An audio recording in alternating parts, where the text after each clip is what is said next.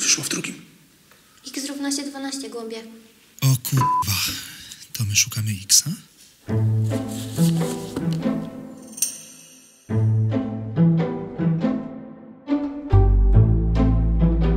Jutro zebranie.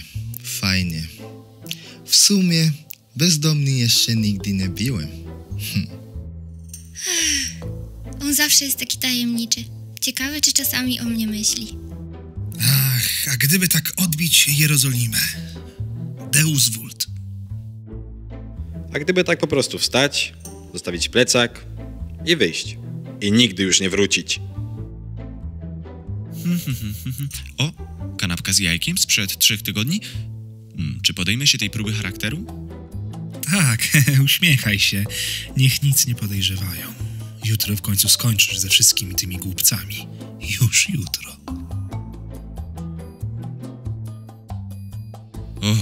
Trochę bali żulem, ale nawet zjadliwa. A gdyby tak po prostu wstać, zostawić plecak i wyjść. I nigdy już tu nie wrócić. Hemoglobina, mistyfikacja, woda, ziemia. Taka sytuacja. Czy na pewno zamknąłem drzwi do piwnicy? Po porannym zastrzyku powinna jeszcze spać. No nic, najwyżej ona będzie następna. Rozumiesz to? Rozumiesz to? Boże, ale bym go schrupała. Ciekawe, o czym sobie myśli w tej swojej czekoladowej główce.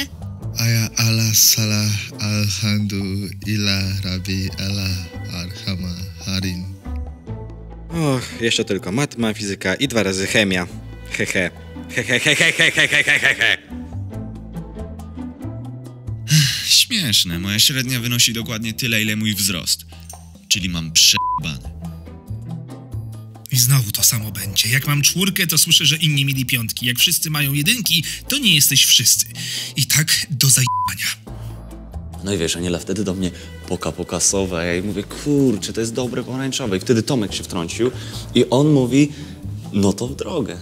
I słuchaj, zamknął się w pudełku i pojechał. no. Ta przyjaźń to rak, który toczy moje szczęście. Przez twe oczy, twe oczy zielone oszalałem. Gwiazdy chyba twym oczom oddały cały blask. Którym oknem by tu dzisiaj spierdolić?